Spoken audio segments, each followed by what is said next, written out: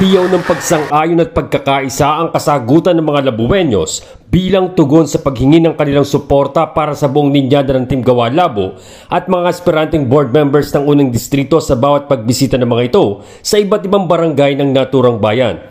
Ito ay patuloy na pinangungunahan ni na Governor Egay Talyado, Congresswoman Josie Talyado, Vice Governor-elect John Pimentel at ni Mayoral Beth Alvin Talyado kasama ang kanyang running mate na si Bong Gibral at ang linyada ng Team Gawa Labo. Binigyan din ng gobernador ang kahalagahan ng buong pagsuporta sa Team Gawa sa darating na halalan upang maging mas mabisa, mabilis at epektibo ang pagsasagawa ng mga proyekto at programa para naman sa 52 barangay ng Bayan ng Labo.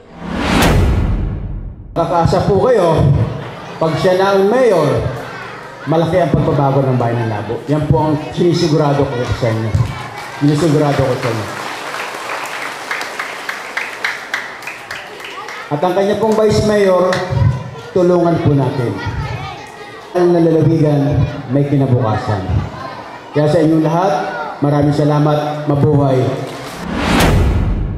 Ito ay sinigundahan ni Congresswoman Josie Talyado kasabay ang pagsiguro sa pagpapaigting ng social services para sa kanilang mga kababayan.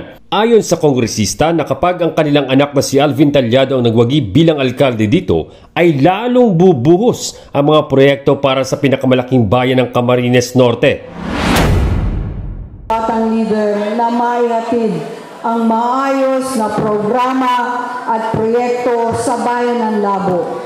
Sana po kung ano yung suporta na binigay niyo sa akin, ibinigay niyo kay Governor, hayaan niyo po, suportahan niyo po ang aming nag-iisang anak ni Governor Egay para maiparamdam sa inyo ang tunay na serbisyo ng isang batang leader. Lalo tigit po dito sa bayan ng Labo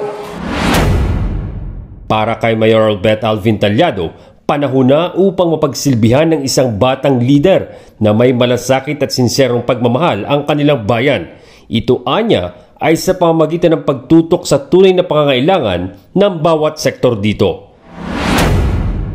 Mga programa namin dito sa bayan ng Labo. Unang-una, senior citizen, bibigyan namin ng tig isang libong piso. Mahirap man yan, mayaman, may pension na tatanggap lahat. Kaya bibigyan namin at sabi ko nga po, kami po mismo ang pupunta sa barangay nyo para ipamahagi yon Scholarship program, no? Dadagdagan po natin ang pondo, gagawin natin 10 milyon po yan. Para yung mga anak nyo, matulungan namin sa pag-aaral at makatapos sila ng kolehiyo. Kasi naniniwala po kami ang edukasyon, no? Yan ang pag-asa natin, edukasyon. Pagsama sa programa namin, madagdagan ng honorarium, mga barangay functionaries, sama dyan ng kapitan, Kagawad, Tanod, BHW, BNS, uh, liquor workers at membro ng Lupon. Lahat po yan, dadagdagan natin ng honorarium. Siyempre kasama din sa programa namin, mga solo parent at PWD. Bibigyan namin kayo ng livelihood program.